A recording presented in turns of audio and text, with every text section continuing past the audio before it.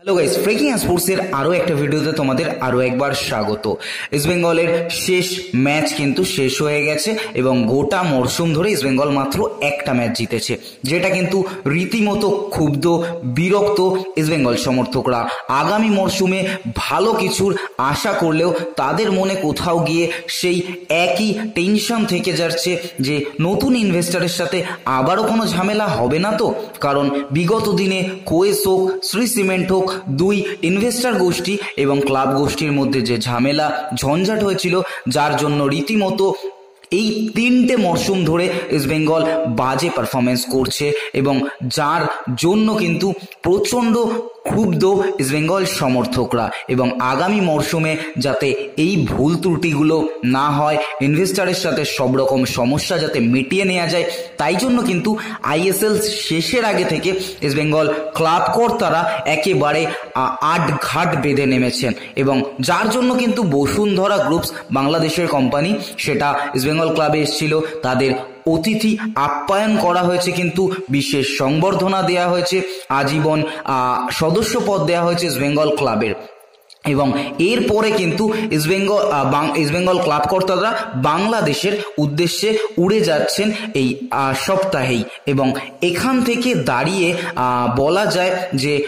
Bashundhara groups একরকম চূড়ান্ত ইস্টবেঙ্গলের জন্য। এবার তারা কীভাবে বিনিয়োগ করবে এই নিয়ে আইনি পরামর্শ হবে কিন্তু ইস্টবেঙ্গল ক্লাবের সাথে বসুন্ধরা গ্রুপসের। কারণ এখানে কিন্তু একটা বাধা বা অন্তরায় হয়ে যাচ্ছে বিদেশি বিনিয়োগ বা এফডিআই কারণ বসুন্ধরা গ্রুপস অবশ্যই ইস্টবেঙ্গলে ইনভেস্ট করতে একদম চূড়ান্ত। তবে বাংলাদেশে সরকার যদি অনুমতি না দেয়, তাহলে যদি কোনো সমস্যা ক্রিয়েট হয় বা কোনো সমস্যা যাতে ক্রিয়েট না হয়, বাংলাদেশের সরকারের সাথে এই বিনিয়োগ নিয়ে তার জন্য কিন্তু তোড়জোড় শুরু করে দিয়েছে ইস্টবেঙ্গল ক্লাব কর্তাদের আইনজ্ঞ এবং বসুন্ধরা গ্রুপের আইনজ্ঞ।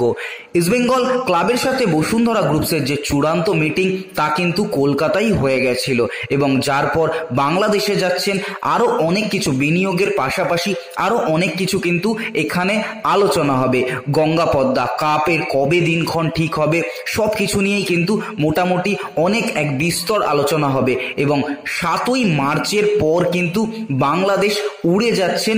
লাল হলুদ কর্তারা এবং খুব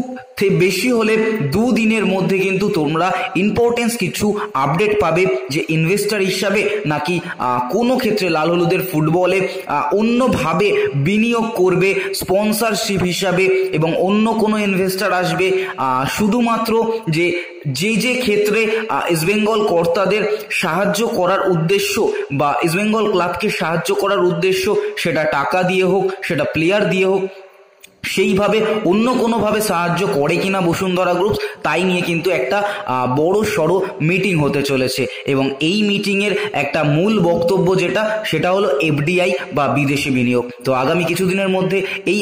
সব কিছু চূড়ান্ত হয়ে গেলেই সব কিছু তোমাদের উদ্দেশ্যে শেয়ার করব এবং তোমরাও অবশ্যই এগুলো জানতে পারবে। ভিডিওটা ভালো লাগলে অবশ্যই লাইক করো, চ্যানেলে নতুন হলে অবশ্যই সাবস্ক্রাইব করে বেল আইকনটা অল করে দাও।